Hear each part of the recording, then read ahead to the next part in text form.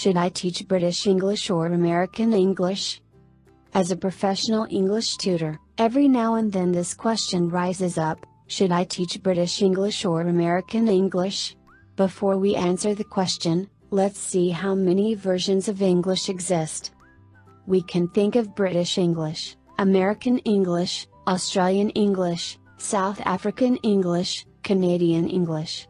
But let's just focus on one pair which most of the English course materials are based on them, British and American. What are the differences? We categorize the differences in four main groups. Accent The first thing we notice is the difference in accent. American is rhotic but British is not. Also, some consonants are pronounced differently, such as T and D. Vocabulary There are different words for similar ideas and items. For example, what is called rubber in the UK is called eraser in the US. And there are many more. Spelling Some spellings are also different. Such as practice in British is spelled practice in American. Grammar There are also some minor differences in grammar. Nevertheless, I always tell my students that the British and American are the same languages. Which one should be taught? Well, it depends. First of all, you need to know your students' goals of learning English. Are they learning English to immigrate to an English speaking country? Or is it for business talks? If your students are going to immigrate or study in an English speaking country, definitely it would be helpful to learn the exact accent spoken in that country.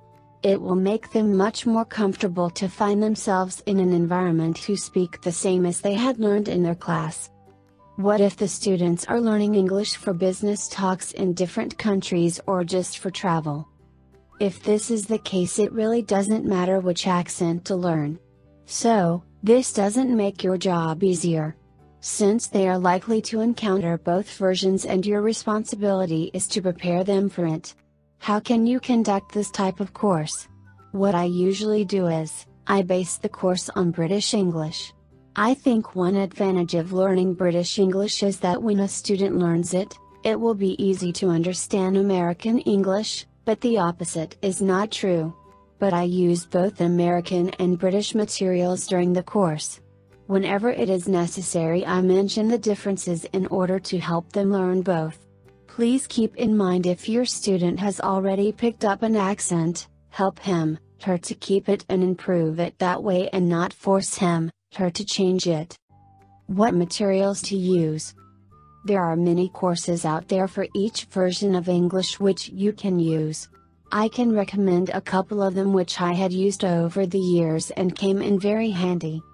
If you are going to conduct a standard British English course for adults, you can use New Headway published by Oxford University. It comes from beginner to advanced levels and you find it on this website, elk.tube.com. Good news is, this course also has an American version and makes your job much easier to switch between two language options since once you get acquainted with one, it's very time saving and comfortable to work with the other. If your students are young learners, I recommend the Family and Friends series. It has six levels in which the first is a starter. This course is also published by Oxford University. This course, as you can guess, is based on British English but it also has an American version. Are you ready to teach English abroad? So, I hope you got an image of how to choose the correct option for your own course and where to find its materials. Speak with an ITTT advisor today to put together your personal plan for teaching English abroad. Send us an email or call us toll free at 1 800 490 0531 to speak with an ITTT advisor today.